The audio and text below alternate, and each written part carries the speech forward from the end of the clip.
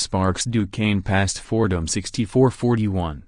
New York, AP. Rene Castro Caneddy scored 10 of his 21 points in a breakaway run to open the second half as Duquesne defeated Fordham 64-41 on Saturday, marking its best start since the 2008-09 season.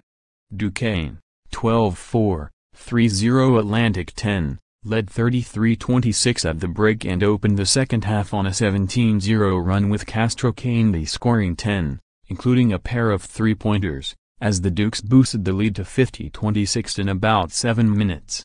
Castro Caneddy made 8 of 10 from the floor, 3 of 5 from distance.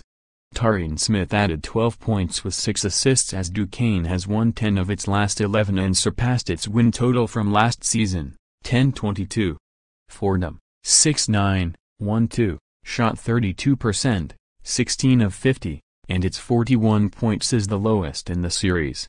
Fordham scoring leader Will Tavares played for 4 minutes, went 0 for 1 with 1 point, ending a string of 14 games in double figures. Prokop Slanina led with 12 points,